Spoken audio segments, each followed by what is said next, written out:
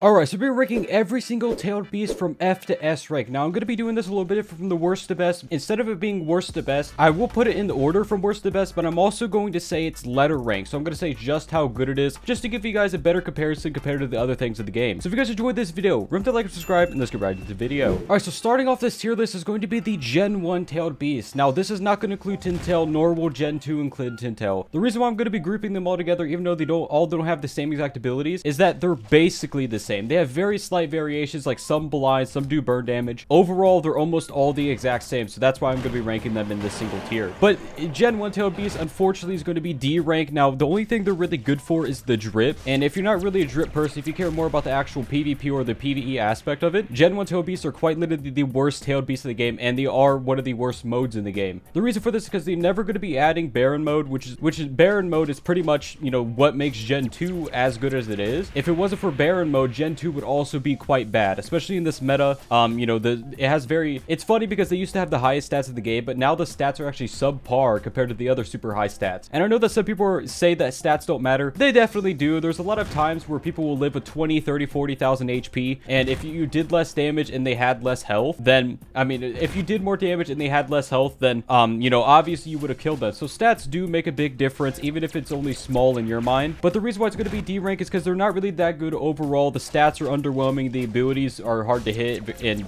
just overall aren't really that good. And all Gen 1 has going for it, like I said, is the drip. So if you care about the drip, Gen 1 is better than Gen 2 and all the other ones. But overall, Gen 1 sub. Now, coming up next is going to be the Gen 2 Tailed Beast. Now, Gen 2 Tailed Beast is not going to include Tyn Tails, but I will be including Rabtailed, even though Rabtailed was a bit different. It does overall share the same aspect of the, all the other ones. Now, when it comes to Gen 2, I'm actually going to be ranking it at a solid B rank. This is only for the Baron mode. Um, the reason why you actually don't see Baron mode that much is because it's just really a spam mode. There's zero skill involved to it. You gen generally would see people with no skill using this just because um, it is so spammy.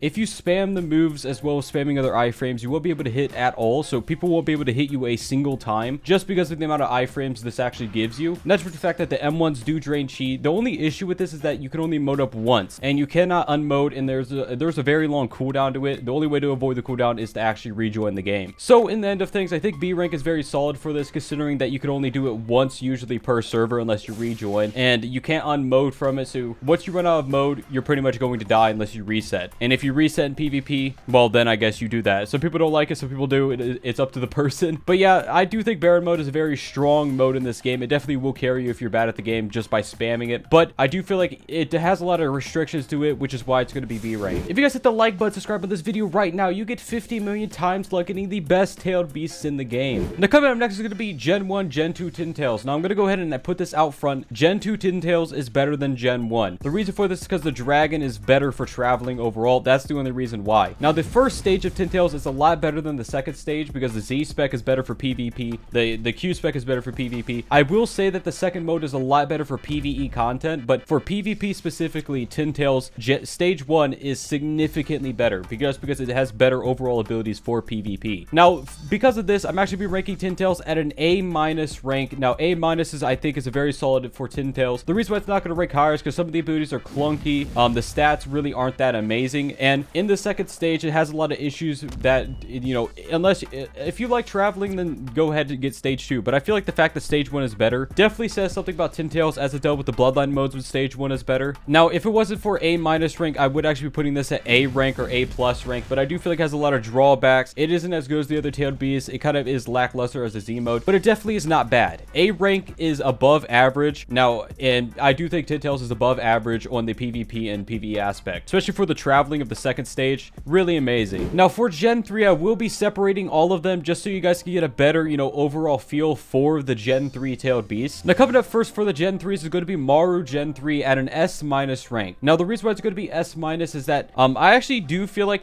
you, the fact that you're so low to the ground definitely is a very disadvantageous thing because the whole point of Gen 3 is that you're high up off the ground, your abilities are easy to hit and stuff like that. Maru has a really good combo extender on the weapon spec, but the actual Z spec is the exact same as Apal, and, you know, I guess that that's something to be considered. So from an actual logical standpoint, Maru is worse than Apal. So I'm going to be putting it S minus because it isn't as good as the other Gen 3s. It definitely is S rank, so that's why it's going to be S minus. But I feel like the fact that you're so close to the ground is a very significant disadvantage compared to the other Gen 3s because it is a lot easier to hit you. And by a lot easier, I mean genuinely a lot easier. You will be hit significantly more often than if you're using the other Gen 3s. People really underestimate like going vertical in Shindo Life. Vertical combat is one of the is very difficult to do in Shindo Life in general because a lot of the moves are lateral. They're not vertical. By lateral, I mean horizontal, like they go forward or backwards or to the side. They don't go up. So there's very rarely a move that goes up unless you're actually aiming it yourself, which makes being higher up a significant advantage for PvP. It's also better for PvE content because you don't get hit as many abilities because you're actually higher up off the ground. So I think S minus rank is a very solid rank for Maru. If you disagree, feel free to tell my comments below. The coming up next is going to be the first Gen 3 Apal Gen 3 coming at a solid S rank. Solid S, nothing else, just S. Now the reason for this is because Apal overall, I actually do feel like Apal is an extremely good tail beast. Now the reason why it's not going to be S plus is because of something coming next. But the reason why it's going to be S rank, like I said, it's higher up off the ground than Maru. The, the abilities are almost the exact same as Maru's. So, the, the, you know, it's not anything about the abilities. It's all about being high up off the ground. That's the only reason why Apal is going to be better. The actual Q spec is different than Maru, obviously. Uh, the Q spec makes it so it summons the tail beast, it runs around. At the end of the tail beast being summoned, it does a sand ability that can stun people. So I do feel like being off the ground is a very significant advantage, as I previously mentioned. And, you know, the abilities, I do think the Q spec is worse, but the fact that the Z spec is the same and the Z spec is mainly the one that you're going to be using from Gen 3, I do think that it deserves to be S rank instead of S minus. By the way, guys, what is your favorite tailed beast in Shindo Life? If you're to comments below, we'll be checking them out. Now, coming in, the best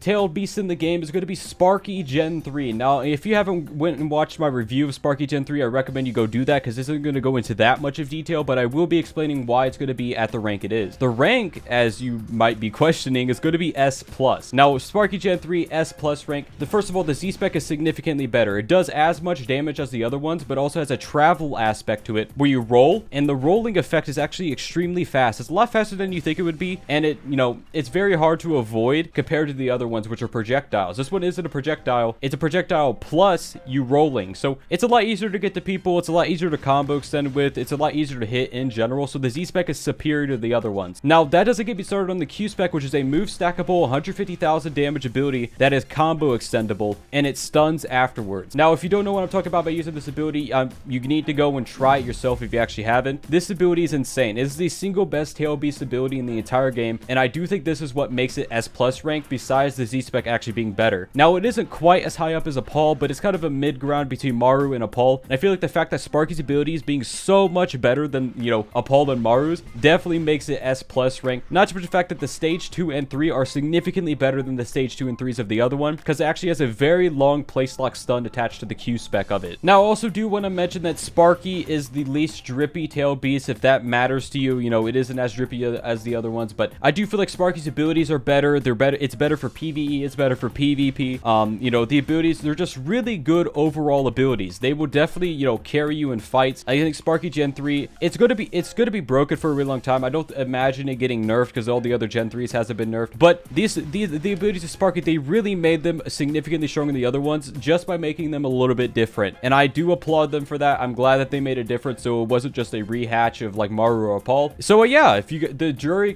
the jury is out. Sparky Gen 3 is by far the single best Gen 3 and actually rivals being one of the best Z-spec modes in the entire game. And that is something to be, you know, very acknowledgeable of because there are extremely good Z-specs in the game if you guys don't know that. You got a Kuma Eternal Hand, you got some of the other Z-specs in the game. Sparky Gen 3 definitely rivals them, but you do have to be aware that it does drain a lot of mode in the final form, so that's something to be aware of. All the Gen 3 final forms also have really amazing stats, so just keep that in mind when you're using them. Anyways, guys, that's me for this video. If you enjoyed this video, remember to like and subscribe. Host guys.